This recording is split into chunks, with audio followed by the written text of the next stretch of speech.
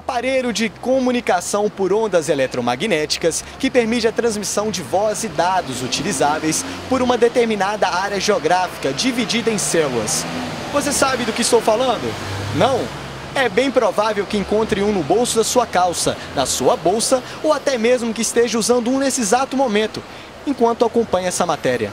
Estou falando do celular, um equipamento que faz parte do nosso corrido dia a dia e que pode ser útil tanto para o trabalho quanto para o lazer.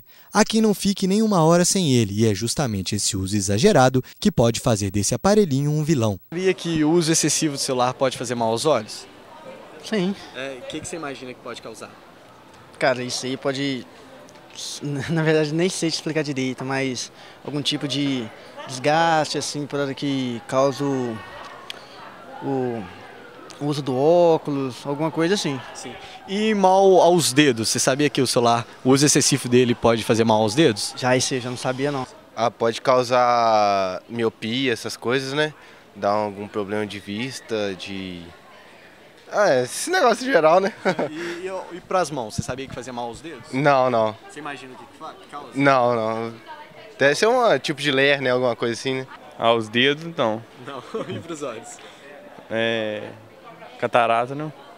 Normalmente, o olho humano pisca entre 40 a 45 vezes por segundo. Quando estamos concentrados no smartphone, por exemplo, o número de piscadas por minuto pode diminuir para 5 vezes, o que pode causar sérios danos. É, os problemas do uso do celular é, estão relacionados à diminuição do piscar.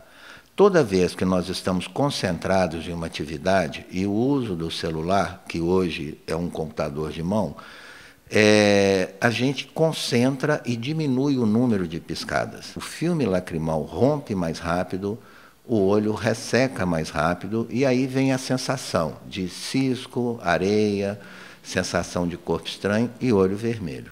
Segundo o IBGE, são 283,5 milhões de telefones celulares no Brasil, mais de um aparelho por pessoa, e o WhatsApp tem sido uma das principais causas de problemas às mãos. O que poucos sabem é que o uso excessivo do polegar pode causar inflamações nos tendões, já chamada de WhatsAppnite.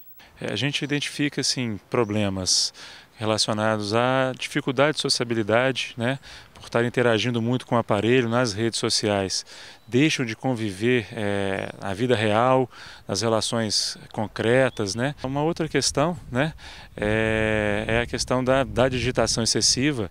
Você pode ter inflamações nos tendões, dos polegares principalmente, pelo fato de você estar digitando né, muito tempo ali não é necessário abrir mão do smartphone. O ideal é não permitir que o uso excessivo seja prejudicial à saúde.